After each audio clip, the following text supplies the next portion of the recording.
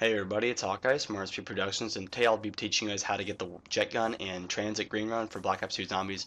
Now, the gun is pretty powerful. Um, it breaks very easily though, and which kind of sucks because you have to rebuild it every time, which uh, isn't really uh, likely to happen. But before I get into the video, guys, um, the first part for the jet engine will be um, between the spawn and the first building on this little, on that little um, step right there, you guys will know you're in the right spot because the bus will slow down uh, significantly to let you guys get out and to um, to pick it up.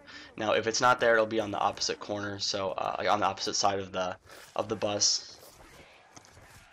All right, now from here, guys, the second part is in Nocturne Toten. Now, if you guys don't know how to get here, I'll put a link to a video on how to get here, but it's very, very simple. Just kind of follow what I do. You want to jump out in between, it'd be the farm and the powerhouse, because, yeah, so you want to jump out in between that and then run through the cornfields. And the piece of the wire will either be right up there on that little uh, filing cabinet or over here on this uh, on this shelf. So all I want to do is pick up the part. Now uh, if you guys go down when you're running back to the bus because of those stupid Dobby creature thingies um, you will drop the part wherever you die so or at least where you go down. So you make sure to re-pick that up or you will lose the part. Um, it's very very hard to find once you guys go down because those fuckers just rape your ass but basically, um, once you guys have those two parts, you either put them in the buildable, like the crafting table, or just uh, have some more people grab onto them for you.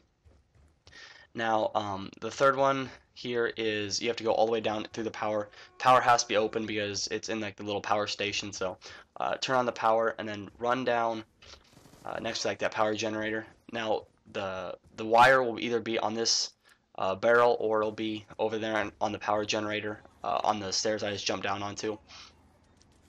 And then the final part, um, right when you guys are going to the fourth area, you'll see a little green uh, light, like a green lamp light, and all you want to do is jump out right before then and run straight to your right and come into this uh, Shi No Numa shack kind of thing and pick up the the gauge. Now it'll either be in the fireplace or on that bed, so one of the two locations it'll be at. And then finally, once you guys all have all the parts, you want to come to the crafting table at the main town, which is next to the double tap. And all you want to do is build the thing because you can only build it here.